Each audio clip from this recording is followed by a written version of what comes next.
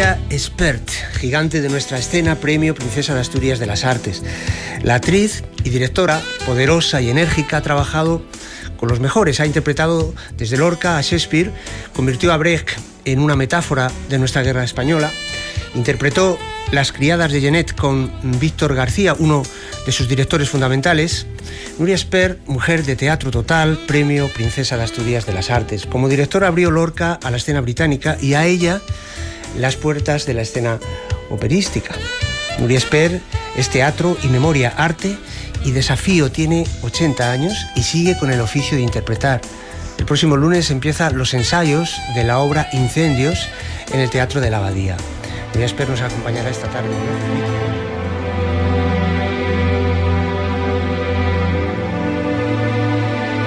El Ojo Crítico, Radio Nacional de España, Juan Carlos Morales.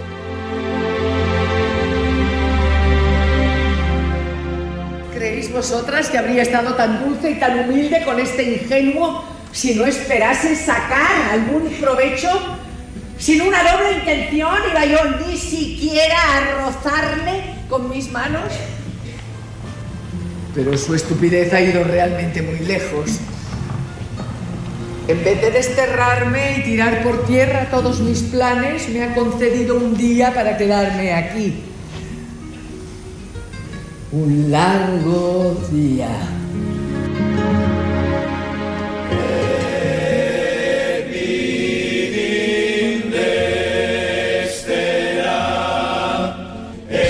Un tercer dot, o de les meves dues filles, i que sigui l'orgull, segons ella, franquesa, qui li trobi mèrit. El mateix rei es desvia de l'ordre natural. Un pare contra una filla.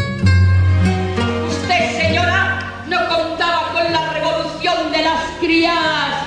Ahí está su error. Un error gravísimo, señora, porque la revolución sube y sube desde abajo. Descansa en paz con la santa compañía de cabecera. Descansa en paz. Con el ángel San Miguel y su espada justiciera. Descansa en paz. Con la llave que todo lo abre y la mano que todo lo cierra. Descansa en paz. Con los bienaventurados y las lucecitas del campo. Descansa en paz. Con nuestra santa caridad y las almas de tierra y mar. Y aquí que ya regresa el mensajero atento con su señor. Y el noble Lucio Bruto con él. Y Colatino encuentra a Lucrecia vestida con las ropas de duelo.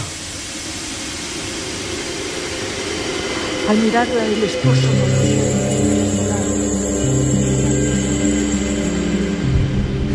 Nuria Esper, mujer de teatro total, premio Princesa de Asturias de las Artes. Buenas tardes, enhorabuena, gracias por acompañarnos en el Ojo Crítico. Pues estoy encantada de acompañaros. ¿Qué ha significado para usted, Nuria Esper, recibir este galardón, este premio Princesa de Asturias de las Artes? Pues primero una sorpresa y después una gran alegría, la verdad. Estoy muy contenta, me, me parecía complicadísimo porque la palabra arte eh, engloba tantísimas, tantísimas ramas del árbol de la cultura, tantas, tantas ramas que parece dificilísimo que sea tu rama la que vaya a llevárselo y que, y que me haya tocado a mí, pues es, yo creo que es una gran alegría para mí y después pienso que es muy bueno para el teatro, que ya le tocaba al teatro español estar en esos premios que tienen tantísimo prestigio y que cuya lista, si la observas, eh, te deja boquiabierta porque por ese premio han pasado pues los más grandes artistas del mundo. Así que me siento muy honrada, muy halagada, muy contenta y agradecida. Nuria Esper, si repasamos eh, su obra, eh, es tan extensa, tan amplia, tan potente, que es difícil quedarse con una obra o con una interpretación. Medea fue quizás su primer éxito importante cuando tenía usted pues menos de 20 años, ¿no? Ahí es cuando supo usted que quería ser actriz. No, ya, ya lo sabía, lo había. Comencé con 13 años, pero supe que quería ser actriz con, con 16.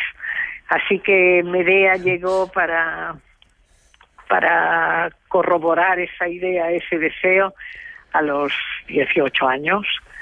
Y, y, y a partir de ahí todo, ha llenado toda mi vida, mis aspiraciones, me ha llenado como, como persona, como mujer, como, como trabajadora, como me ha dado muchísima felicidad, yo le he dado todo lo que tenía y más y el balance es magnífico. ¿Medea es eh, para Nuria Esper entonces el personaje que más tiempo la ha acompañado? Sí, el que más tiempo me ha acompañado es Medea, sí. Hemos ido envejeciendo las dos y Jasón el malvado ha ido también envejeciendo con nosotras. los niños no, los niños los niños han seguido siendo pequeños. Sí. Nuria Esper, ¿y, ¿y se puede hacer Medea con 18 años igual que con 40 o con 60 o con 80? Igual no, y además no tiene que ser igual. Tiene que ser, tienes que haber aprendido, tienes que ser más sabia de lo que eras cuando lo hiciste la última vez. Tienes que tener un gran director del que tienes que aprender montones de cosas.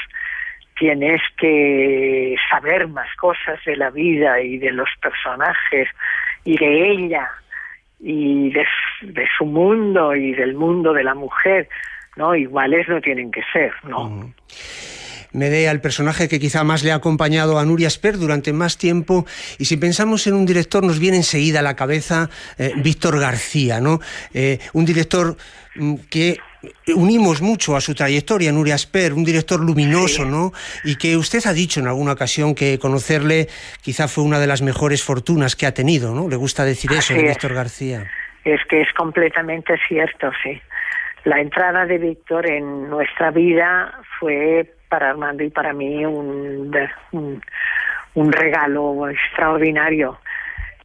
Eh, era una persona complicada, era un genio, eso que se regala y que se dice tan así de tanta gente, no. Era un genio, un genio total, un genio desgraciado, pero un genio. Y le debo a Víctor, pues no, no hay palabras para decirlo. Todo lo que le debo porque mm, no solo como, como actriz, no solo nos abrió las puertas del mundo entero, que empezamos a viajar por todo el mundo con, con las criadas, yerma y con divinas palabras, no, además le debo también como persona muchísimo, porque Víctor pedía mucho, pero daba mucho. A su lado, que no era un sitio donde estuviera confortable, a su lado crecí muchísimo, aprendí y no hay palabras para decir la admiración que le sigo teniendo y el cariño que le sigo teniendo. Medea, un personaje, Víctor García, un director y un autor, eh, eh, Asper. Pensamos en, Lorca, en Shakespeare. Pues yo creo que Lorca y Shakespeare son los que más he representado Em, pero Bre, que fue importantísimo para mí hacer la buena persona de Sichuan, eh, Sartre con la puerta cerrada también es otra de las cosas que me salieron bien. Eh, no sé, hay tantos, tantos autores, hay tan, tantos autores que no he representado porque no he tenido tiempo, porque por larga que sea una carrera no hay tiempo para hacerlo todo. Nuria Esper, hay un momento también muy importante en su trayectoria, que es, eh, bueno, se va usted a, Londres eh, para debutar como, como directora eh, con la casa de Bernarda Alba, además en inglés, abriendo entonces a Lorca, ¿no? a la escena británica, y de paso también abriéndole a usted las puertas de la escena operística. ¿no? Háblenos ahora mismo, si se acuerda, de esa experiencia, ¿cómo le marca la experiencia de dirigir una ópera? En este caso estamos pensando en Madame Butterfly, ¿no? Sí, pues al principio fue una, una cosa gratísima. Eh, yo estaba dirigiendo la Casa Bernarda Alba y de Glasgow, la Real Opera House de Glasgow, me pidió que dirigiera Madame Butterfly. Y dije que sí, así con mucha alegría, era una ópera que conocía muy bien, que me gustaba, o sea que todo andaba muy bien. Después el éxito fue tan enorme. Eh, estuve tres años en Covent Garden dirigiendo tres óperas y viajando todo el tiempo porque estas óperas se representaban en muchos lugares. Todo eso me desgastó muchísimo y, y es una labor muy solitaria la de director de ópera.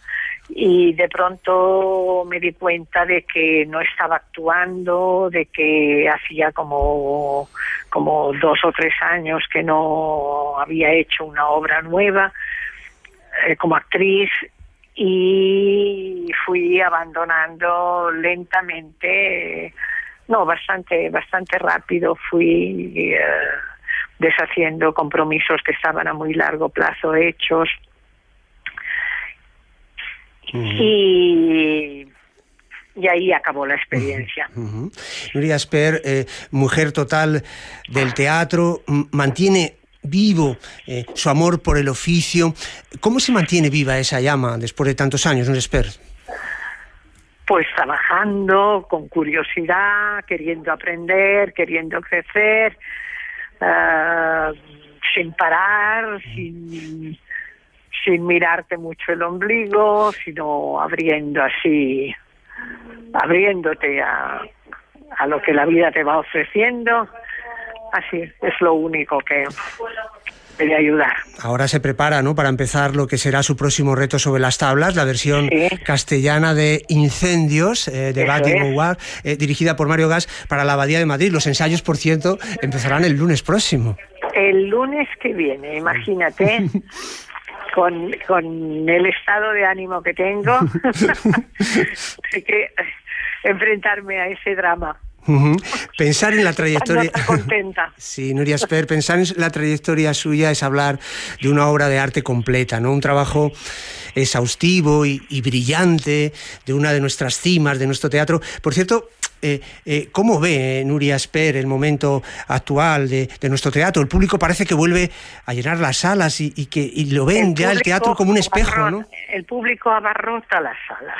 Es como si de pronto la gente hubiera descubierto que está cansada un poco de la tecnología, que, quiere volver a ver personas ahí vivas, hablándole de cosas vivas, haciéndole reír o llorar y hablando a cada uno de la gente que compone un público, porque en el teatro, y ese es el secreto de su longevidad y de y verdaderamente de su historia, de su historia magnífica, es que habla a cada uno de los espectadores, no, no es esa masa que puede estar en el cine, es verdaderamente algo sumamente personal. Hablamos con cada uno de los espectadores. Él está ahí, se emociona contigo, se ríe contigo y sale de ahí como si hubiera hecho una gran amistad personal. Sí, el aquí, el ahora del teatro, ¿no, Nuria Sper? Ese momento único, irrepetible, ¿no? Para el actor y, y para el público, que cada vez es distinto, ¿no? Así es. Cada es diferente, cada público reacciona de un modo distinto y hay que estar alerta, despierto y apasionado para aprovechar cada uno de los segundos que estás con, en contacto con cada una de las personas. Nuria Esper, premio Princesa de Asturias de las Artes 2016. Felicidades de nuevo. Eh, es un privilegio que nos acompañe esta tarde en el Ojo Crítico Nuria Esper. Estoy encantada. Un abrazo muy fuerte para todos vuestros seguidores y para ti especialmente. Un abrazo. Otro para ti, gracias.